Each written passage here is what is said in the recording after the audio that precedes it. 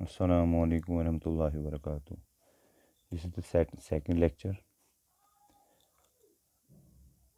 Today we will discuss about distribution of equatorial region. Equatorial region spreads across almost all continents. It includes Caribbean islands in North America, Brazil, Colombia, uh, uh, Ecuador in South America.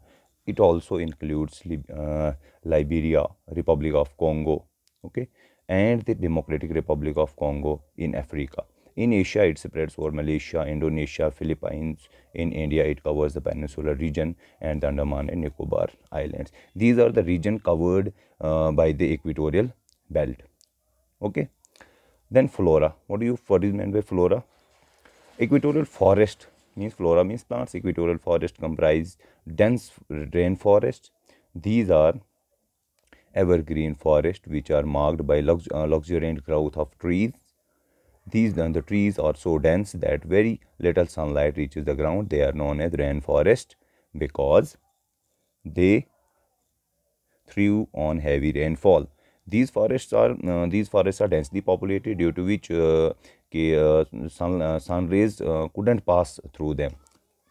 Okay equatorial forests have a four tiers tier layers of erosion four layers. The forest the forest floor or the ground usually has decomposed leaves and fruits. The layers above is known as understory.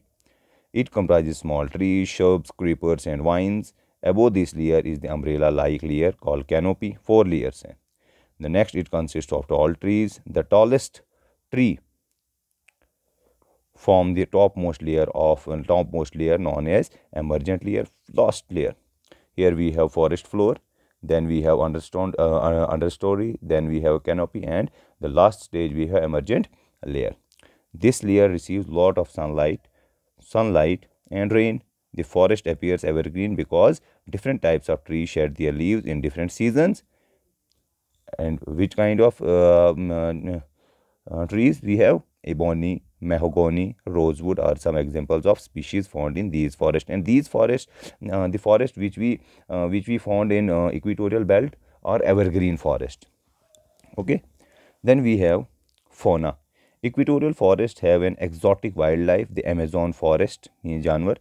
Amazon uh, Amazon rainforest is the storehouse is the storehouse of the world's world's most amazing animal species like anaconda वहाँ पाया जाता है इसमें equatorial belt में flying fox tarantula tree tree frogs then कीको caiman iguana these are the animals found in equatorial belt the Congo basin and the forest south east Asia are known as